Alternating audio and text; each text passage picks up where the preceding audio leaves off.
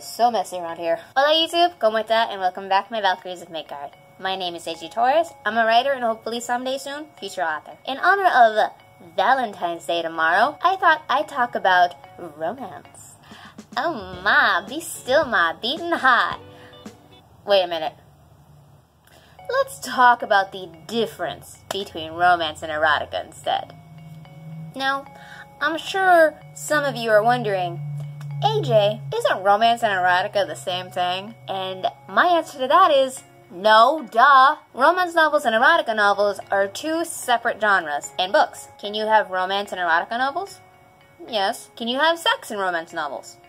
Also, yes. But in your story, you are free to forego one over the other. But but, but, but, there are things you need to know about the genre of romance and the genre of erotica. The very point of romance novels is obviously to focus on the romance between two or more people that must have an emotionally satisfying and optimistic ending.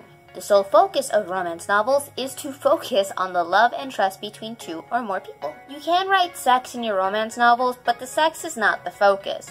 The love between your characters is what is the focus of romance stories. Everything else is secondary. You can also write some struggles in your romance for your character's journey to achieving love if you want, but it all needs to work out in the end. Love conquers all, I suppose. The very point of erotic novels is obviously sex, some of which can include a journey of the character's sexuality and experience with sex and discovering fetishes if you feel like you wish to write about specific sexual acts or just stick to plain old sex. Now, does this mean you need to have romance in your erotica novels? And the answer is no, you don't. The point of erotic novels is the sex. Everything else is secondary. Basically, what I'm saying is you don't need sex to write a love story, and you don't need love to write a sex story. You just need to understand what the focus of each genre is. Romance is about love, while erotica is about well, the sex. There are subgenres to go with both of these main genres, but you need to make sure that each of their respective points are at the forefront of your story,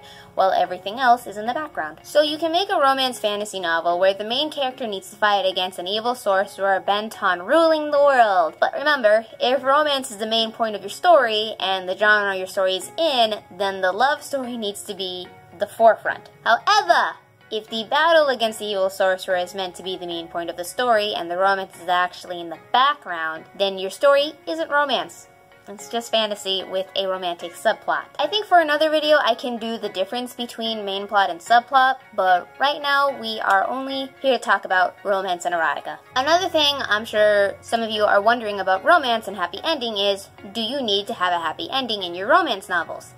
And the answer to that is yes. You really do. And I swear, if another person brings up Romeo and Juliet, y'all need to understand that the story of Romeo and Juliet is not a romance story. It is a tragedy that happens to feature romance. Any story that features romance but has no happily ever after with the two titular characters not ending up together is not a romance story.